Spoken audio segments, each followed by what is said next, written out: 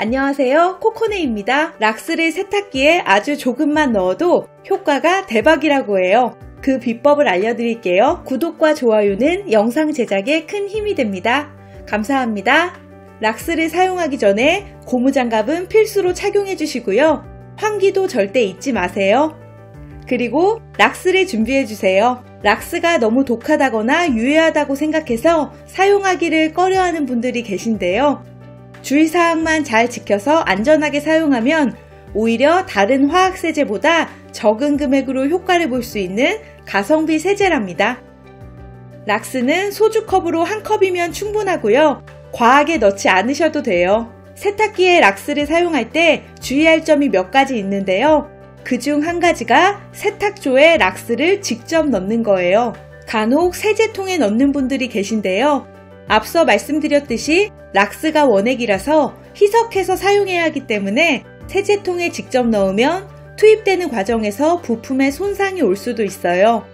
세탁조에 넣어서 바로 물에 희석되어 사용하는 게 안전해요. 그 다음 과정은 아주 간단해요.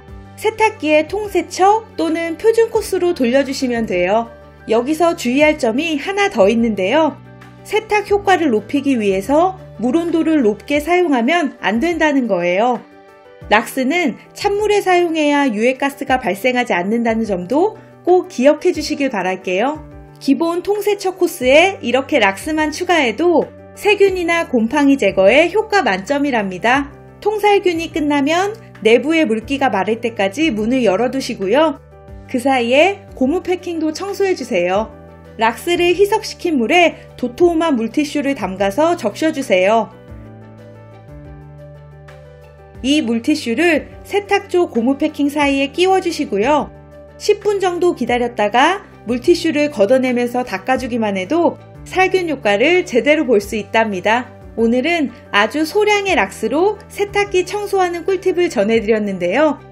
자주는 아니더라도 세탁 횟수 30회를 기준으로 한 번만 락스로 청소하면 세탁조는 물론 세탁물까지 깨끗하게 관리할 수 있으니까요.